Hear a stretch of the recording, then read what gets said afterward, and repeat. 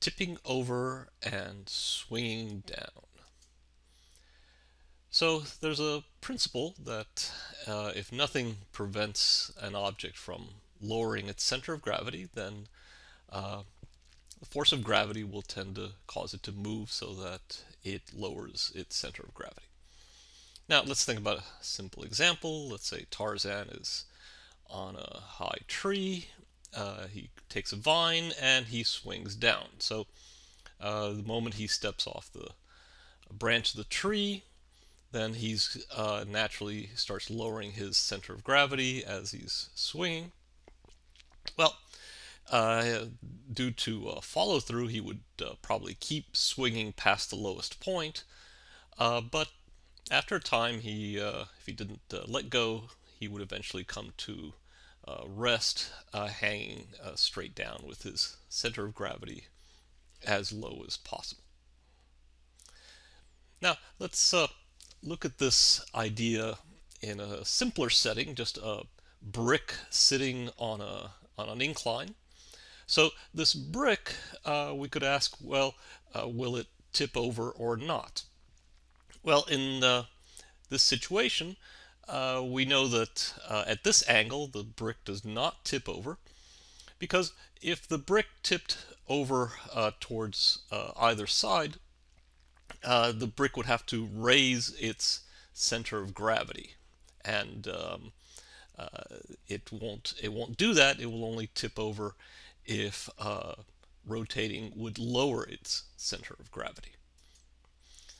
So let's uh, see that in another example here. Uh, this first uh, case on the left, uh, this uh, object has this slanted shape, and it happens to be that it's in balance. It will not tip over because if it tipped over, the center of gravity uh, would have to first come up and then uh, come down. So uh, it does not tip over.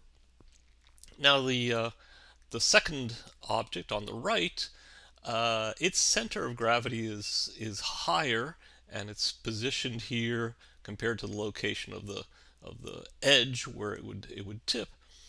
And now we see that uh, it's going to naturally tip over. It's, it's out of balance um, because the center of gravity can just immediately start to go down, and so that's what, what it does. Uh, Weebles are a, a, child's toy, and the, and the slogan goes, Weebles wobble, but they don't fall down. Well, they don't fall down because uh, they are weighted such that uh, the center of gravity for a Weeble is very low, and so uh, if a Weeble um, was to was to tip over, that would actually have to cause the center of gravity uh, to go up, and so uh, they're very stable in the lower um, uh, upright position. Now, uh, this idea of having the center of gravity uh, located um, far down on an object and, and how that affects stability, uh, well, we see that in this um, example here, if we have uh, the, the case on the left where uh, the object is top heavy, so the center of gravity is up near the, near the top here, uh, well, in this uh, incline, the object is uh, unstable to tipping over. And, and we see that because the center of gravity, uh, as the object just starts to rotate, immediately starts to, to go down. And so the, uh, the object uh, falls over. Uh, this other case on the right, which is just the, the same object turned upside down, it's stable in this case because the center of gravity here is, is much lower down. And so uh, at this uh, slope, uh, the center, center of gravity would first go up before it would go down. And so in this orientation, it's uh, stable against uh, tipping over. Now, uh, this uh, concept lets us understand why uh, wheels roll down a, a slope. Uh, a brick might first be unstable, but then it tips over and then um, uh, when it's lying on its side, it's uh, it's stable. But for a wheel, uh, it's always unstable. It, it turns and um, lowers its center of gravity, and it just keeps turning and turning um, and uh, continues to lower its center of gravity when it rolls down a down a ramp. Now, uh, it's possible to have a wheel that, that does not roll downhill and um, uh, think about how that might work. Well, uh, the way it, you could do that is to have a, a hidden weight inside the wheel so that the center of gravity was not in the center of the wheel but but uh, rather towards one side and in this case uh, because of this position of the center of gravity uh, rolling would actually require the center of gravity to first uh, go up. Um, and so the wheel can just sit on the ramp like that. Maybe a more obvious uh, example would be if we had a wheel that had a hole in it. Uh, so the center of gravity of this wheel is, is offset.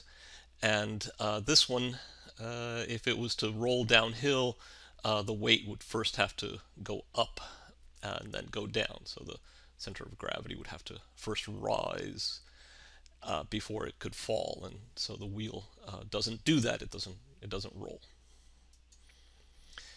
Well, let's uh, look at how tipping over applies in a uh, scheme by the uh, Wile E. Coyote. So here, quite obvious what he's um, planning. Just in case it wasn't, we see his uh, uh, design. So, uh, seems simple enough. And uh, here we go.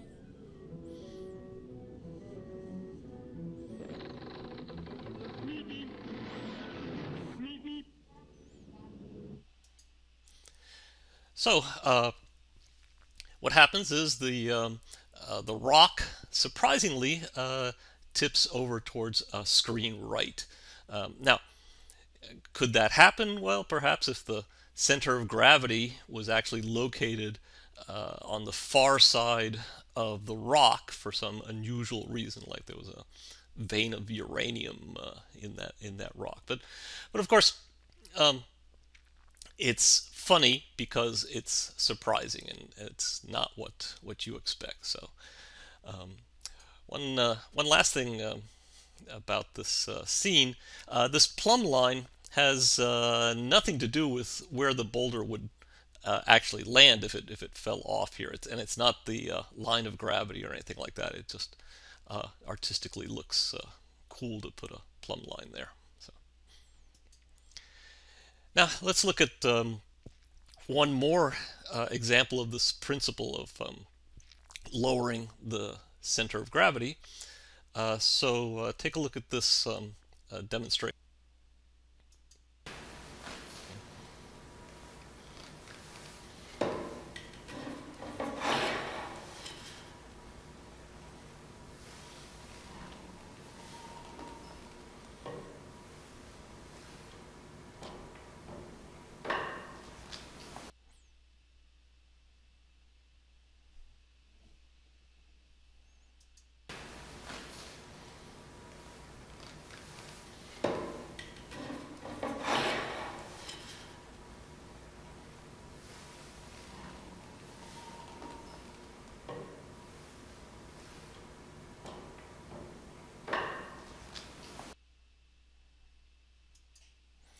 So in that uh, demonstration, you see that the um, uh, when we position uh, the hammer on this uh, hinged uh, board, the board actually stays up.